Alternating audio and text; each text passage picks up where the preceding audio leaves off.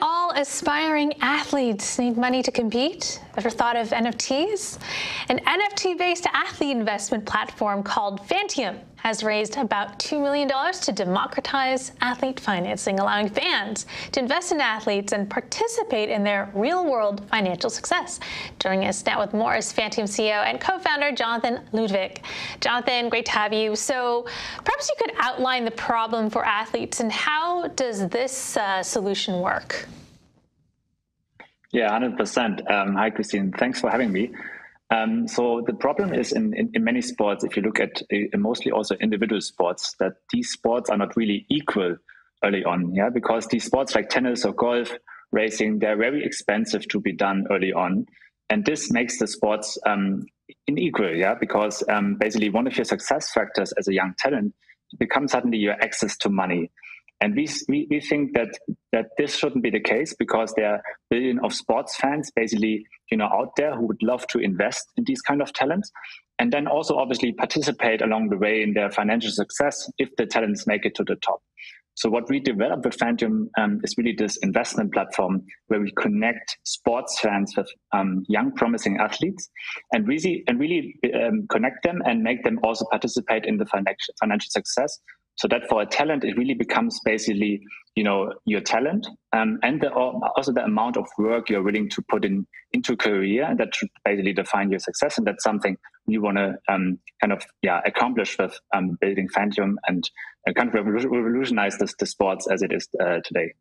Interesting. And and what is the interest so far? has this ever has this model ever worked before? Is there demand for it? Do you have use cases?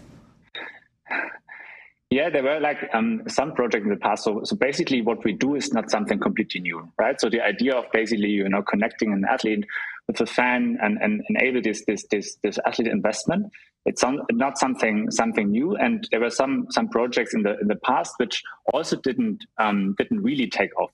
Um, but we believe now the time is basically different, yeah, and that's mainly also because of um, blockchain technology uh, and, and and specifically NFTs. So what we do with Fantium is we, we, we use the underlying technology of NFTs, yeah, and we use we use them um, to kind of um, yeah enable these these athlete investments. So you can buy an NFT, and then with the NFT you actually you are entitled to to to a share of the financial um, success um, of, of the athlete, and that's something which which didn't exist uh, before. And you you what we see is um, in other um, in other categories, yeah, such as music, yeah, this model is already very successful. So when you look at basically, um, you know, companies like like Royal, yeah, who have been, you know, kind of pioneering this this new type of as, as asset-backed NFTs, um, and we are now basically the, the first project basically introducing this this model basically using NFTs um, in, in, in, sports and specifically basically for financing um, athletes. And why do you think NFTs are the greatest way to do that versus just uh, you know any other traditional system of uh, royalties? Yeah, so basically uh, there, there are multiple reasons for it. Um, so basically, the, one of the reasons is that um, an NFT it's, it's not only about the financial utility, right? So basically, we know that basically with Bored Apes and, and other NFT projects, we kind of um, have you know experience NFTs as something emotional, and that's also Fantium very important because basically when you buy the NFT, obviously you participate in the financial success of the player, but then you also basically unlock emotional value, yeah, because that NFT really connects you to, to the athlete, so you become basically part of the athletes in a community.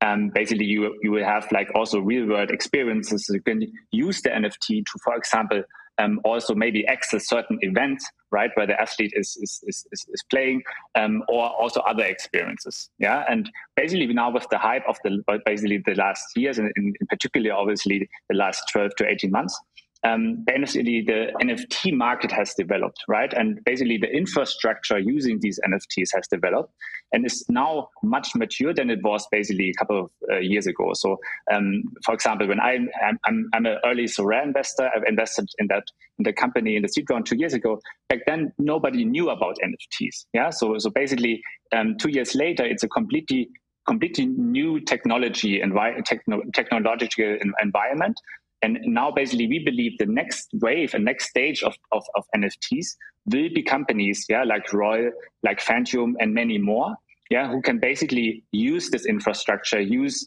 the technology, and and, and really provide utility um, to, um, uh, in, in our case, sports fans who you know who, who are eager to in, to invest in athletes and kind of participate and become part of their journey.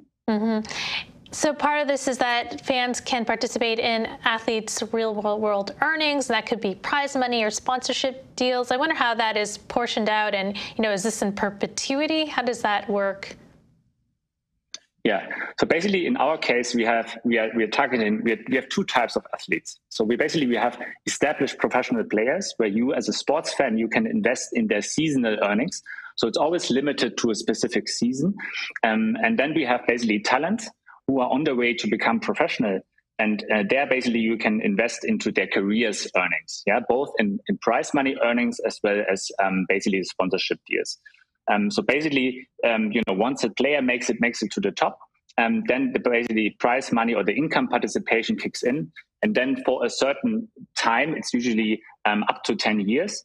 Uh, you as an NFT holder, you are entitled to a share of the prize money and the um, sponsorship income the athlete is, is earning. Um, so it's basically different for established players. It's on a seasonal basis. So every season there will be a new set of NFTs. that these established players can basically release to their sports fans. And for career, for, for young talents, it's basically um, up for up to ten years once the talent um, makes it to the uh, to the top and, and and has become professional.